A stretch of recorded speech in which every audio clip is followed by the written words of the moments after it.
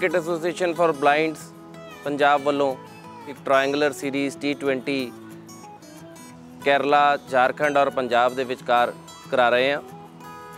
ਔਰ ਇਹਦਾ ਮਕਸਦ ਜਿਹੜਾ ਬਲਾਈਂਡ ਕ੍ਰਿਕਟ ਹੈ, ਉਹਦੀ ਜਿਹੜੀ ਪਪੂਲੈਰਿਟੀ ਹੈ ਹਿੰਦੁਸਤਾਨ ਦੇ ਵਿੱਚ ਵੱਧ ਰਹੀ ਹੈ, ਉਹਨੂੰ ਹੋਰ ਪ੍ਰਮੋਟ ਕਰਨਾ ਇਸ ਮੈਚ ਇਹਨਾਂ ਮੈਚਾਂ ਵਿੱਚ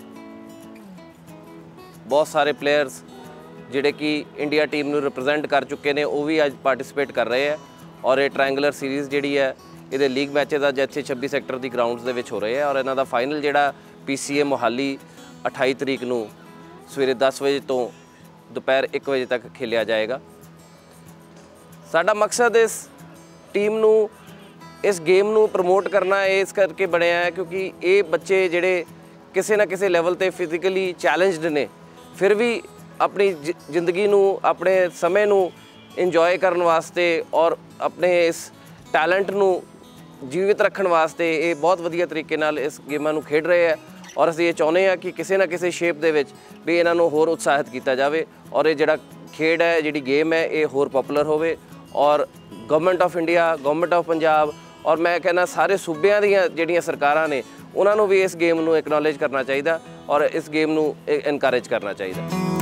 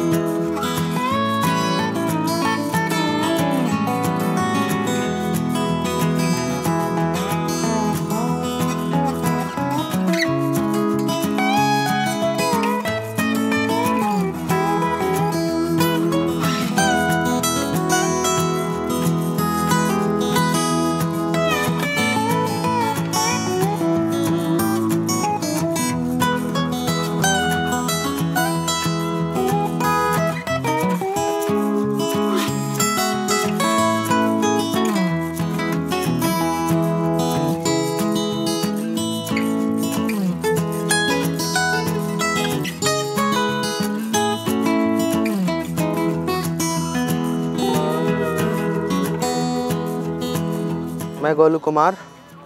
मैं एक झारखंड का प्लेयर हूँ और साथ ही साथ मैं एक इंटरनेशनल प्लेयर हूँ। मैं, मुझे फ़र्स्ट टाइम मौका मिला 2014 में जब मैं 14 साल की उम्र में अपना डेब्यू किया इंडिया ऑस्ट्रेलिया सीरीज़ में। और मैं एक वर्ल्ड कप भी उसी साल नवंबर में खेला 2014 में। और उस समय मेरी उम्र सिर्फ़ और सिर्फ़ 14 साल थी। मैं वर्ल्ड में सबसे यंग प्लेयर था। और मैं आपको बताना चाहता हूँ कि आ, मैं आ, जो हमारा सीरीज़ हुआ था साउथ अफ्रीका कैपटाउन में उसमें हमने पाकिस्तान से आ, वो खिताब मतलब फाइनल मैच जीता जो फ़र्स्ट टाइम ओडीआई का हमारा वर्ल्ड कप हमारे घर आया इंडिया में। और हमारी क्रिकेट अभी तक मतलब उतनी हाईलाइट नहीं हो पाई। है हाईलाइट बहुत लोग जानते हैं पर इस खेल को अभी तक उतना बढ़ावा नहीं मिल पाया है। उस तरीके से फैसिलिटी नहीं मिल पाती है गवर्नमेंट के द्वारा। तो हमें नॉर्मल प्लेयर की तरह ही सपोर्ट मिले और पब्लिक से और गवर्नमेंट से, ताकि हम एक नॉर्मल प्लेयर के जैसा ही खेल सकें। अपने आप को विकलांग ना हम नहीं समझ सकेंगे वैसे में। और यहाँ पंजाब में काफ़ी मज़ा आ रहा है। दो तीन दिन हम यहाँ रहे हैं। कल हमारा मैच आई थिंक अब फाइनल कौन खेलेगा वो तो एक मैच बाद ही पता चलेगा।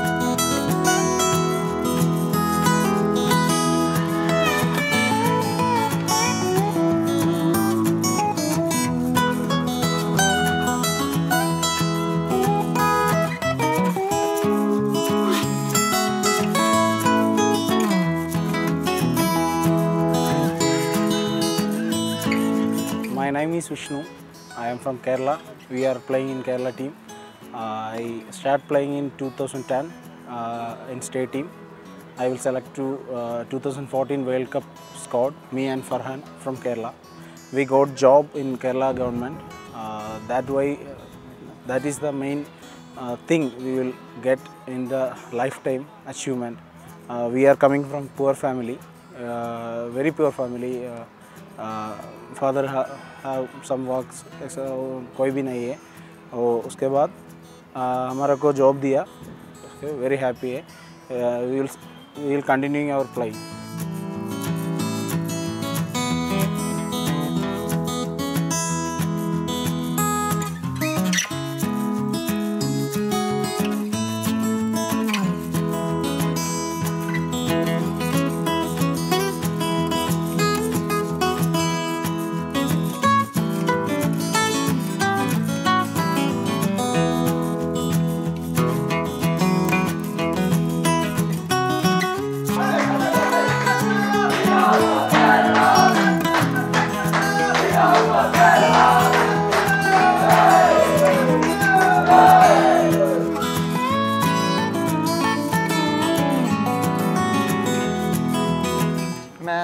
Tejinderpal Singh international player